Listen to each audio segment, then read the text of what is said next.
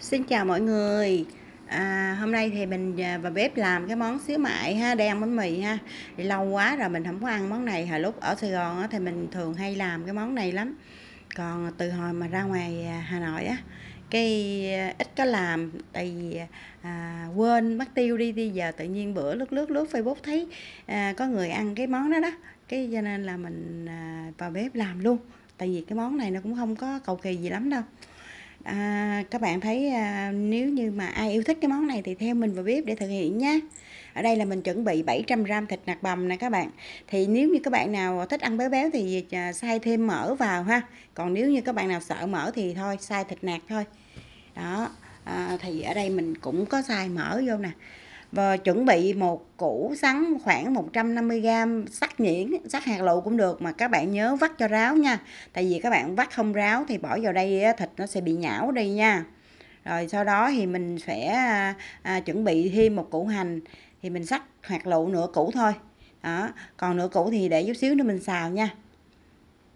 Để à, trộn vô thịt đó ăn nó đỡ ngán. Rồi vài tép tỏi nữa khoảng 3 tép được rồi à, chứ nếu mà thịt không nó khô lắm các bạn. Mình phải có củ sắn này nó ngọt. Củ hành nó cũng ngọt mà nó thơm nữa. Rồi cho thêm à, ba tép hành lá vào đây. Đó.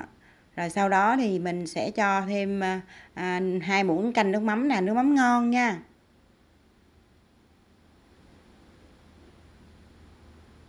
Một muỗng canh hạt nêm.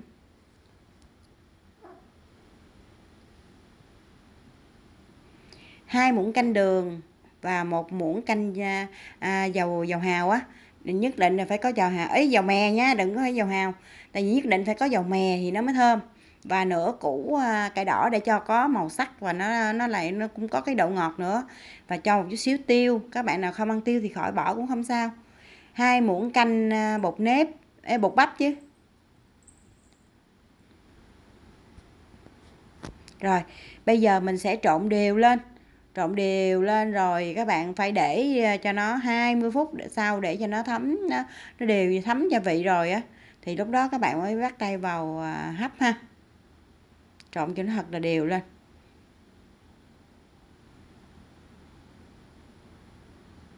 Rồi bây giờ mình để đây mình lấy cái à, màng màn bọc mình bọc lại. Rồi bây giờ mình chuẩn bị một củ cái đỏ nhỏ này với củ cây trắng nè thì mình sắc cái cọng nó bự bự vậy nè để mình làm đồ chua các bạn. Ăn cái món này phải có đồ chua.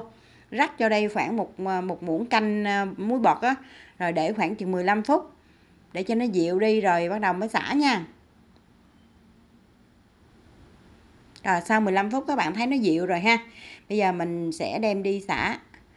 À, mình chuẩn bị cái nồi nước này để các bạn biết làm gì không? Luộc da heo. Nếu như các bạn nào thích ăn kèm da heo á thì các bạn luộc thêm miếng da heo ha à, trước khi luộc gì này các bạn bỏ tí xíu muối vào cái nồi nước nè. Rồi mình luộc lên cho nó mềm luôn. Mình hết ăn cái da heo sắc nhỏ nhỏ ra đó. Rồi bây giờ mình xả thật là nhiều nước để cho nó hết mặn nha các bạn. Nhớ xả khoảng 3 bốn nước nha. Rồi vắt cho ráo đi. Rồi các bạn cho vào đây 3 muỗng canh đường hoặc là 4 muỗng canh đường nếu như các bạn thích đồ chua nó ngọt.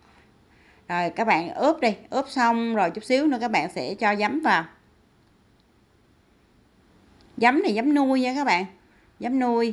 À, mình cho nó ngập ngập như vậy nè rồi bắt đầu mình ngâm. Mình ngâm thì trong thời gian mà mình hấp thì cái đồ chua này nó thấm rồi mình ăn nó nó nó nhanh lắm các bạn. Ở đây thì mình ăn kèm rau răm à, trái dưa. Thì da heo mình cũng luộc xong rồi mình rửa sạch rồi cắt nhỏ ra vậy nè rất là đơn giản ha. Bây giờ mình sẽ bắt nồi lên nè mình đang chuẩn bị cho cái nồi nó nóng. Rồi bắt đầu mình mới à, bỏ cái à, giò viên cái thịt à, nãy mình bỏ vào đây. Giò cho nó to to chút xíu các bạn ăn cho nó đã, bỏ vô ờ, trong cái nồi hấp này nè. Đó, các bạn thấy con giò của mình là cũng phải một nắm tay đó các bạn. Nếu mà các bạn nào không thích to thì các bạn nắng nhỏ nhỏ cũng được, hấp thì nó mau chín hơn. Tại chút xíu mình còn nấu lại nữa mà. Đó, rất là nhiều luôn á. Nhà mình có hai người thôi mà ăn ờ, cử sáng với cử chiều. Mà 700 gram thịt đó các bạn, nếu mà rau củ nữa chắc phải tính là cả ký luôn á.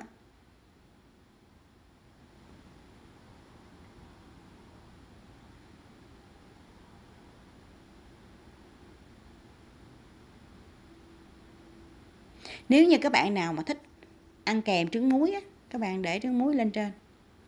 Rồi bây giờ mình đi à, trong à, trong thời gian mình chờ cho cái cái à, à cái cái cái à, thịt này nó chín chín rồi thì bây giờ mình sẽ đi à, à, xào cái cái cái nước á mình làm cái nước á.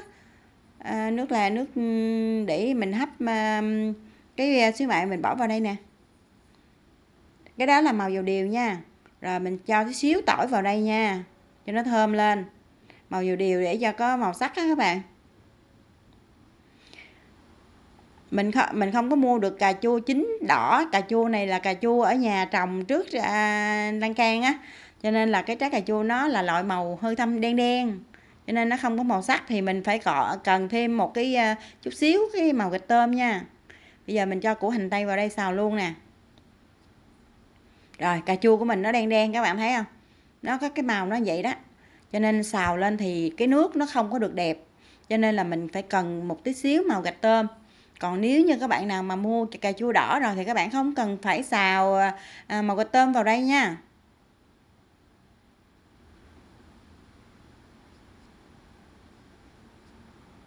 Rồi, bây giờ mình cho một trái dừa vào đây.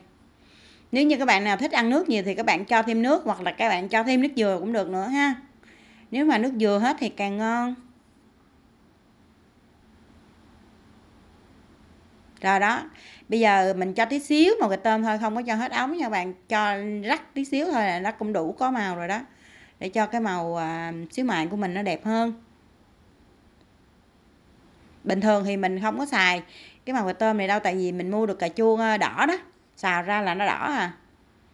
Rồi bây giờ là cái thịt chín rồi mình vớt qua đây nè các bạn. Cái xíu mại này nó nó chín rồi nó nó cứng lại rồi đó. Rồi bắt đầu mình cho nó vào đây rất là đơn giản các bạn thấy rất là đơn giản ha. Nhưng mà ăn nó không có ngán tại vì trong cái thịt này là mình có rau củ đầy đủ hết á và nó có dầu mè nữa cho nên nó rất là thơm. Thì cái phần nguyên liệu của mình ghi rõ ràng dưới phần mô tả các bạn nào mà không có à, nhớ thì các bạn vô đó xem lại cái phần cái phần nguyên liệu mình ghi rõ ràng ha để làm cho đúng thì cho nó ngon nha các bạn. Rồi khi các bạn bỏ à, thịt vào cái à, cái nước dừa này rồi xong rồi các bạn nếm lại bỏ da heo vào luôn thì các bạn phải nếm lại à, coi nó thiếu cái gì thì các bạn nêm theo cái khẩu vị của gia đình mình. Tại vì mỗi nơi mỗi vùng miền ăn nó cái vị nó khác nhau á. À, mình thì nó hơi ngọt có cho nên mình chút xíu là mình sẽ cho thêm miếng đường à, và tí xíu muối. Thì các bạn nhớ là à, làm theo cái cách này nhưng mà các bạn nêm theo cái khẩu vị của mình thì ăn nó sẽ hấp dẫn hơn ngon hơn ha. Thì mình ăn theo cái kiểu người miền Nam đó nó hơi ngọt ngọt á các bạn. Có vị ngọt ngọt. Rồi bỏ da heo vào đây. Bỏ thêm tí xíu muối đó. À, bỏ thêm tí xíu đường. Tại có nước nhiều mình để nước nhiều để chấm bánh mì vậy các bạn. Rồi bây giờ đã chín rồi đó rất là đơn giản. Tại vì à, thịt mình cũng đã hấp rồi đó. Mình hấp chín rồi thì à, bây giờ mình nấu cũng không có lâu đâu. Tại vì mình không có muốn cạn nước để nước là chấm bánh mì rồi đậy nắp lại và tắt lửa được rồi. Ngon quá. Thơm lắm các bạn ơi thơm thật là thơm luôn.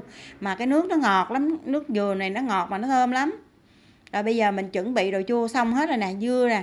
Và bánh mì mình cũng đã sắc ra rồi bây giờ là mình sẽ cho cái xíu mại này ra và sử dụng và dùng thôi. Nếu như các bạn nào yêu thích cái món này thì các bạn uh, uh, làm theo mình nha. À, và nhớ chia sẻ hoặc là cho mình like à, hoặc là đăng ký kênh cho mình. Cảm ơn tất cả mọi người đã theo dõi.